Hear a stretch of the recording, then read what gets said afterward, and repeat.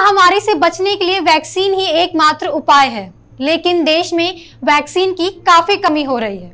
विपक्ष सरकार से लगातार देश में हो रही वैक्सीन की कमी को लेकर सवाल पूछता रहता है। दिल्ली, तमिलनाडु, राजस्थान, उड़ीसा, पश्चिम बंगाल समेत कई राज्य सरकार ने वैक्सीन ना मिलने का आरोप लगाया है।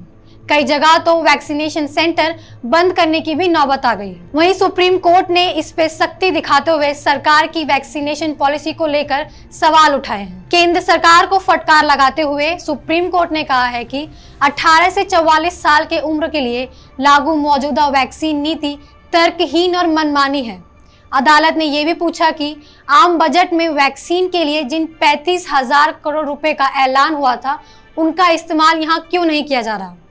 ऐसे में सुप्रीम कोर्ट ने अब केंद्र की वैक्सीन नीति का पूरा हिसाब किताब मांगा है। अब केंद्र को बताना होगा कि उसने कब कब वैक्सीन खरीदी है।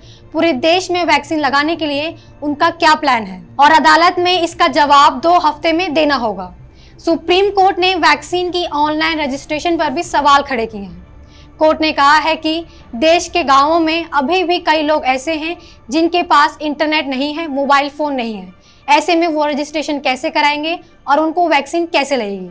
अभी के लिए इस वीडियो में इतना ही। ज़्यादा अपडेट्स के लिए सब्सक्राइब करें। औतम न्यूज़ धन्यवाद।